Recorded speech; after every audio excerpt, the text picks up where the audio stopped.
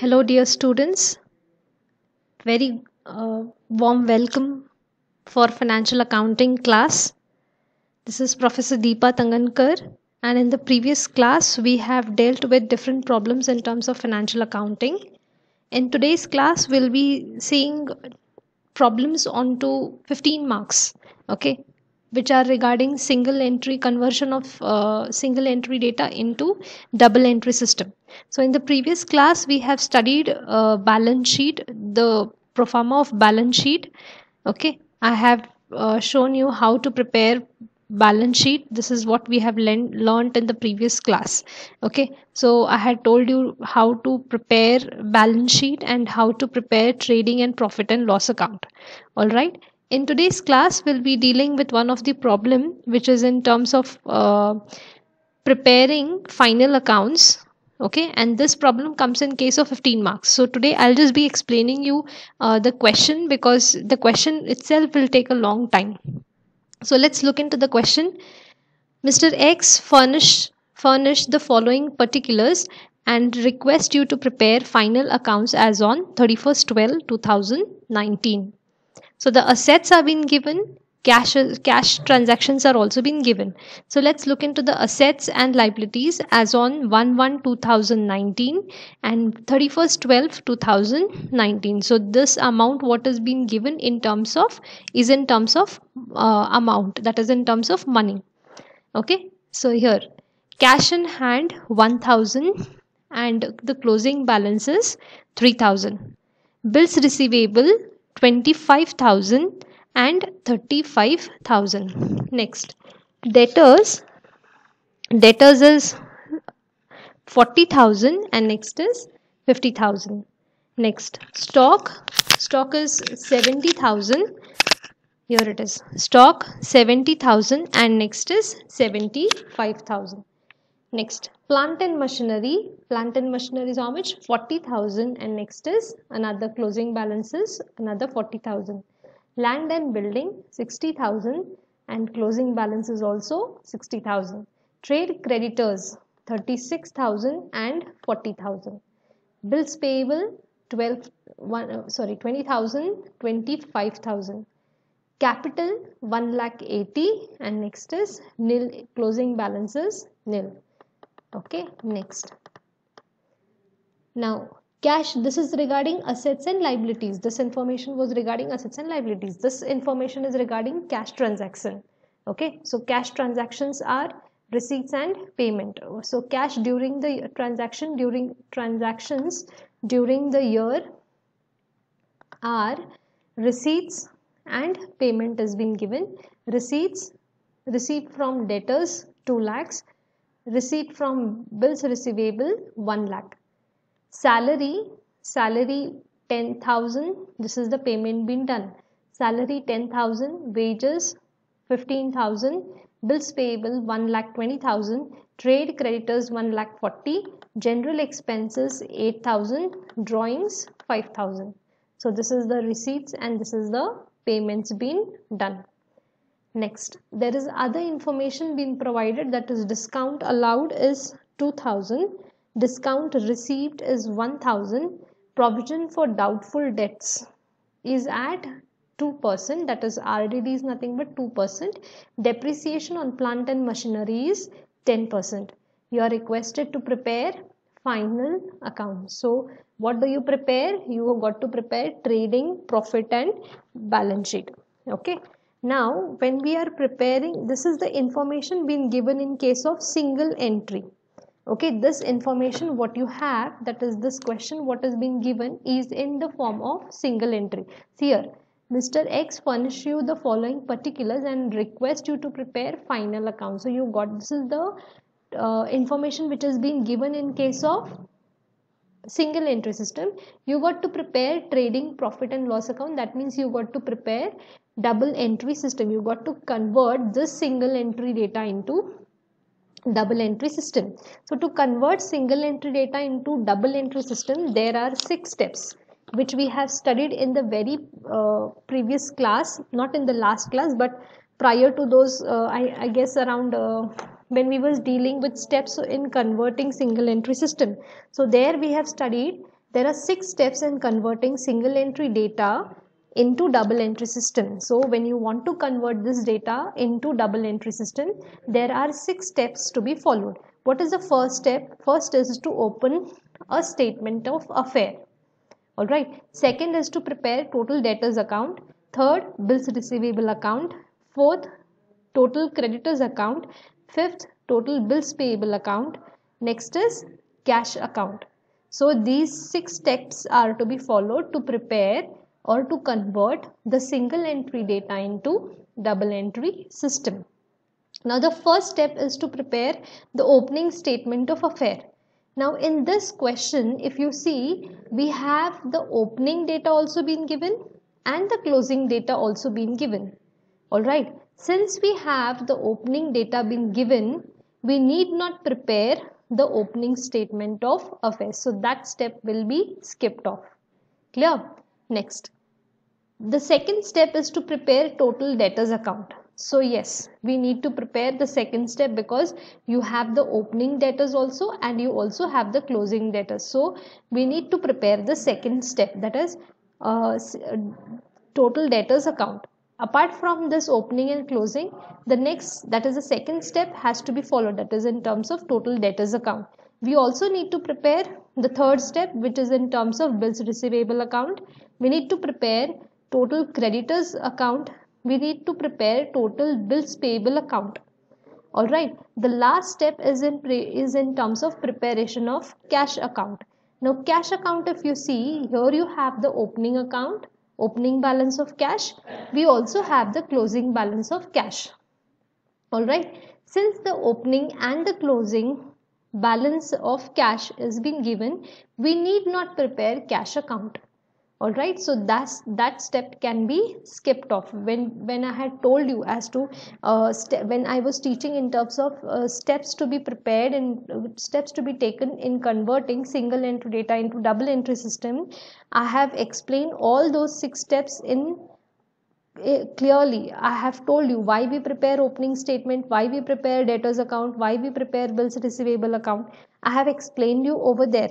All right? So if if you're finding any confusion you can check into that particular video and then uh, understand what i am telling you in this particular class. All right?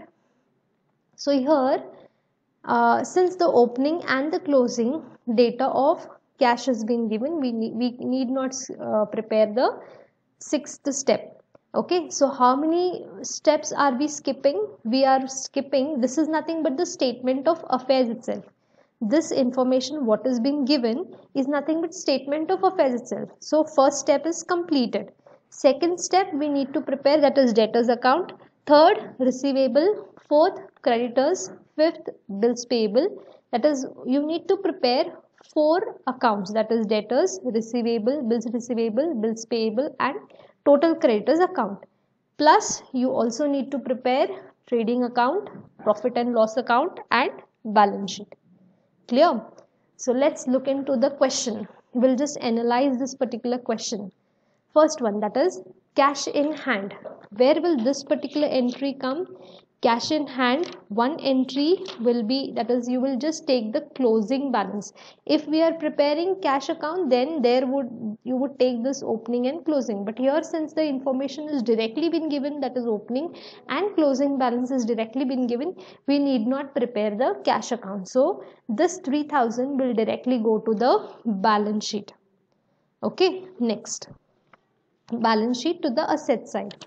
All right next bills receivable. Now bills receivable is how much? 25000 and 35000 now this is nothing but the opening and the closing bills receivable. If this has been given where do we take this entry? It comes to the bills receivable account. Okay? Next opening comes to the debit side closing goes to the credit side. Next debtors. Debtors also same that is opening and closing has been given. So opening goes to the debit side closing goes to the credit side stock. Now stock where will you take this particular entry? You will take opening stock. Opening stock where will this come? Trading account okay? Debit side of trading account credit side of trading account that is closing stock. This is opening stock this is closing stock. Next plant and machinery. Now plant and machinery where will you take? This will come in case of uh, ba balance sheet so stock opening and closing. Where will you take this opening stock?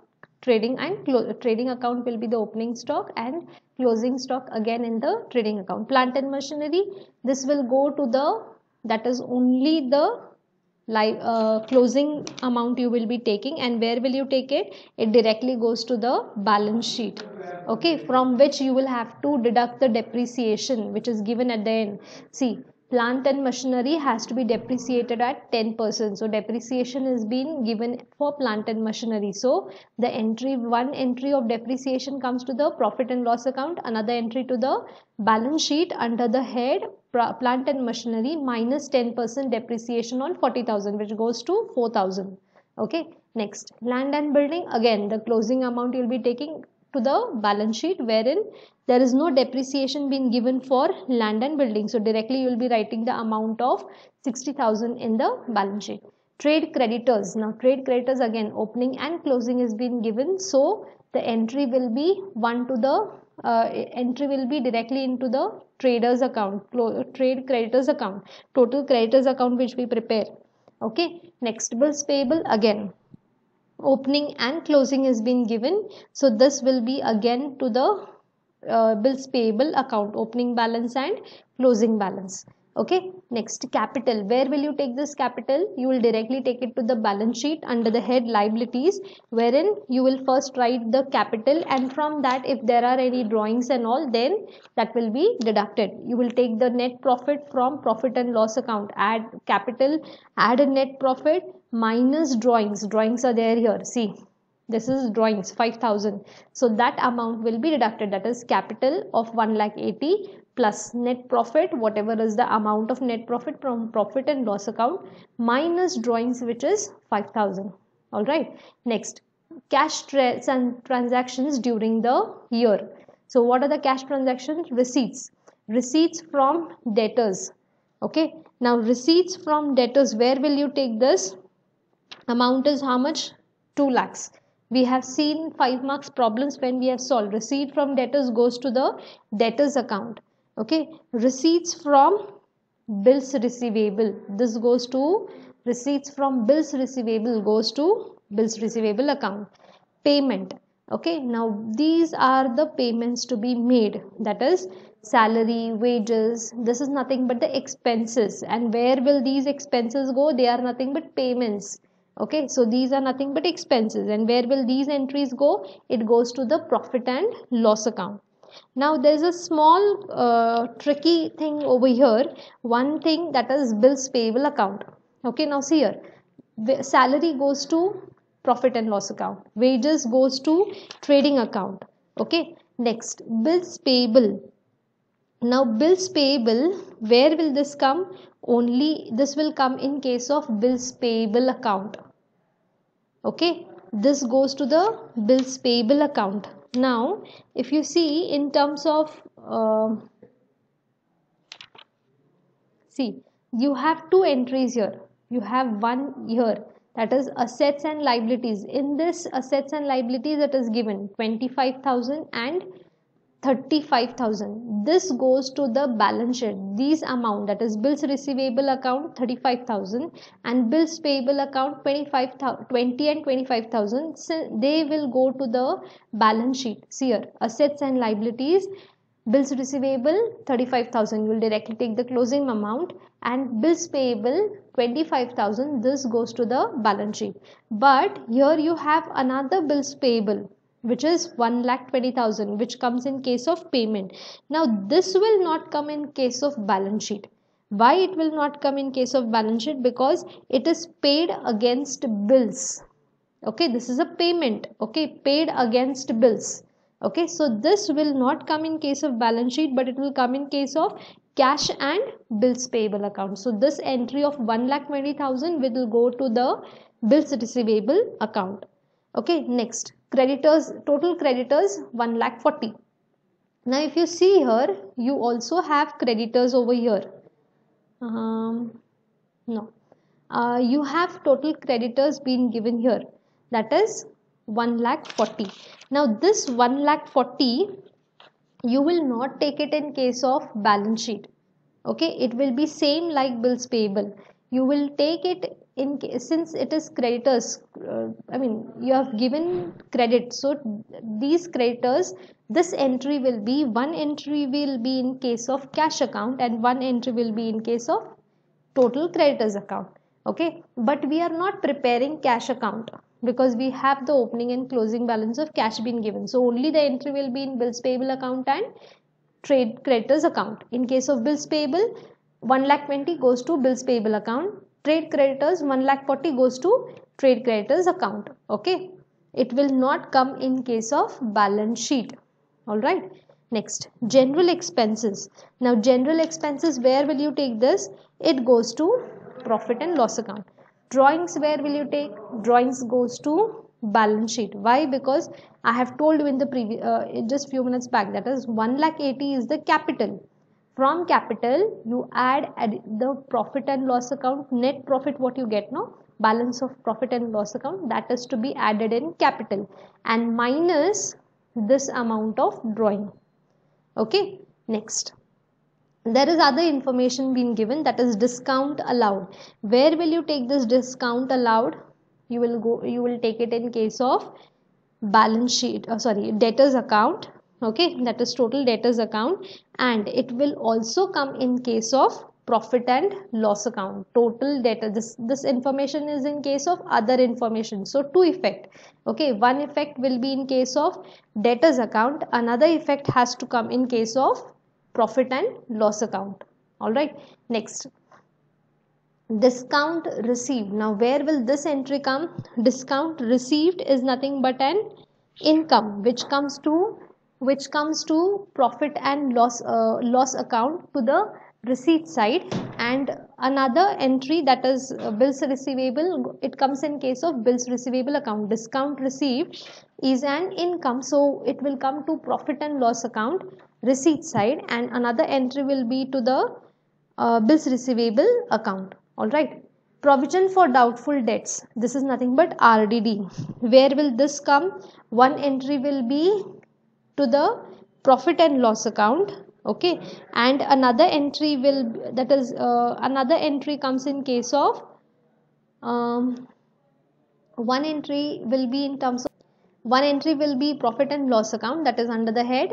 Uh, i mean you will write it as rdd and from debtors you will minus 2% and another entry will be in balance sheet that is under the head debtors to the debit side you'll write debtors na?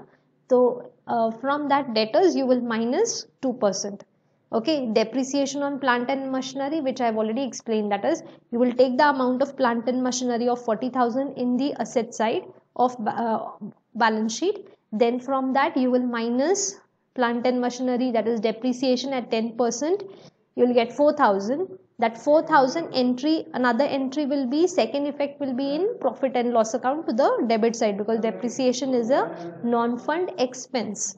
All right so the second effect will be to the debit side.